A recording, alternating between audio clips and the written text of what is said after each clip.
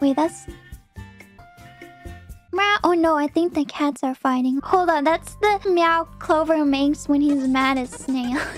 so let me go break it up. A few mo- As expected, from my bed, he was just sitting there antagonizing him silently by staring, and Clover got mad. yeah, they don't actually fight. Sorry, I'm being dramatic when I say fight.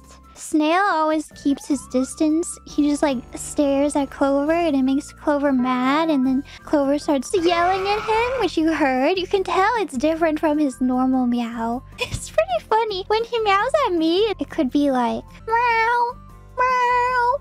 But when he meows at Snail, it's like meow.